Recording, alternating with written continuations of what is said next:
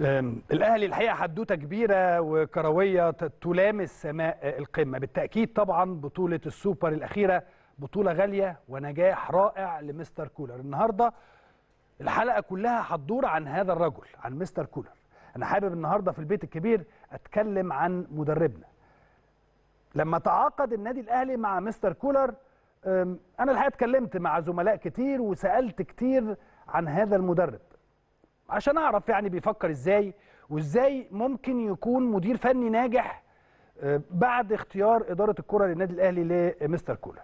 الحقيقة أنا كنت على يقين إن الأهلي جاب مدرب كبير لكن بصراحة و...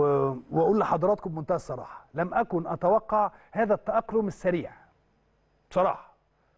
سر قوة ونجاح كولر في قدرته على التأقلم السريع.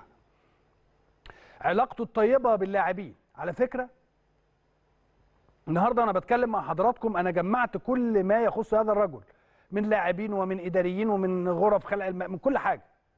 الرجل ده جنتلمان قوي في التعامل مع الكل لكنه في نفس الوقت قوي قوي جدا جدا جدا في أوضة اللبس. هتقعد تقول لي بقى أوضة اللبس ومش أوضة اللبس؟ أوضة اللبس دي أهم شيء لأن هذا الرجل عامل المعادلة الصعبة. انك تحبه وتخاف منه. تحترمه وتبقى عايز تثبت وجودك قدامه. وبرضه هو عادل جدا جدا في تقييمه. وصريح مع اللعيبه عجبني قوي لما بعد الماتش اللي فات قال آه، ماتش أسوان على ما أتذكر أو ماتش الزمالك مش متذكر الحقيقة ولكن قال عجبني آه، الداخلية أنا آسف لما قال أنا مش عاجبني الاستهتار حتى لو الفريق كسبان. وزي ما قلت لحضراتكم قبل كده في مباراة 6-1 الأهلي والزمالك لما فاز النادي الأهلي على نادي الزمالك 6-1 مانويل جوزيه هذا المدرب الأسطوري. أنا ليه بقارن كولر ب... مع إني ما بحبش المقارنات ليه بقارن كولر بمانويل جوزيه؟ لأنه مانويل جوزيه في عقول جمهور الأهلي هو المدرب الأسطوري اللي دايما الناس بتحب تشوفه والناس تحب تسمع عنه. مجموعة اللاعبين اللي لعبت مع مانويل جوزيه آه، كان جيل ناجح جدا جدا قدر إن هو يصل مع مانويل جوزيه لكل منصات التتويج اللي حضرتك تتخيلها. مع مانويل جوزيه.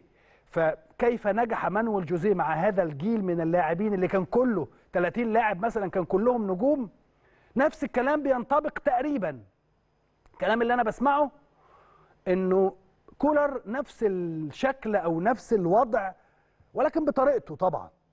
إن إزاي تخاف منه وإزاي تحبه إزاي تحترمه وإزاي تبقى عايز تعمل له كل حاجة جوه الملعب مع إنه المباراة اللي فاتت كان حاطك بره الفرقة.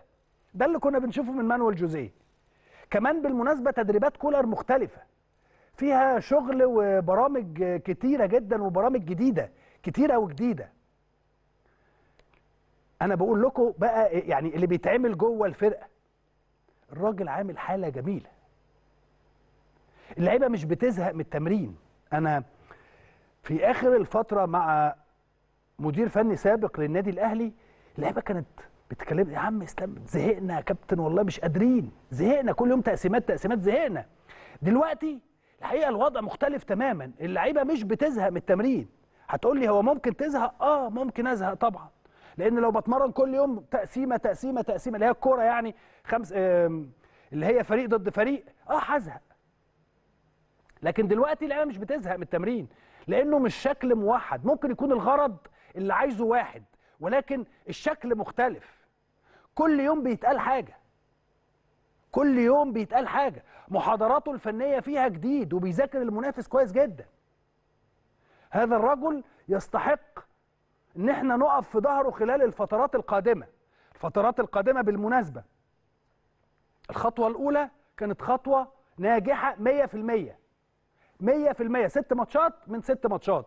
اثنين أفريقيا اثنين دوري آه، أو اثنين دوري واثنين افريقيا أربعة دوري واثنين أفريقيا وواحد كأس السوبر يعني سبع ماتشات. سبع ماتشات انت واخد فيهم 10 من 10 واخد فيهم 10 من 10 وبالتالي إحنا هنفضل في ظهر هذا الرجل وهنفضل واقفين معاه وهنفضل في ظهره في كل شيء كجمهور وكلاعبين وكجهاز فني بقية الجهاز الفني يعني وأيضا مجلس الإدارة.